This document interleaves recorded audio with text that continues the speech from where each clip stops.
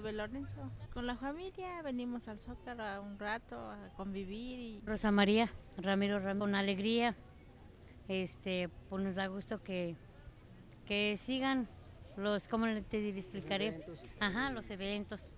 Que se junta mucha gente, que siga la tradición. Hace buen, ¿cómo se llama? Caen bailes y todo y fiestas y reunirnos todos. José Manuel López Jiménez.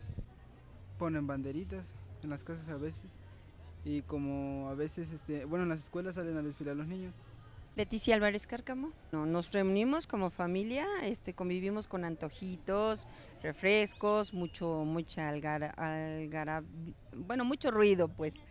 Y así en unión familiar y amigos, bueno, que son muy, muy memorables por la historia, tanto de, del estado de Veracruz que colinda aquí con, con el estado de Puebla como de Puebla, que es muy buen canal, tiene muy buena información, sobre todo que Mm, los programas que, en él, en este canal hay, están muy bien. Eh, Jonathan Jaime Leal.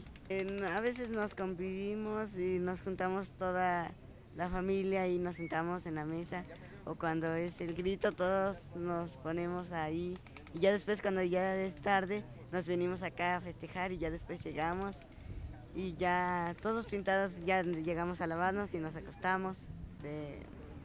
el grito de independencia y eso.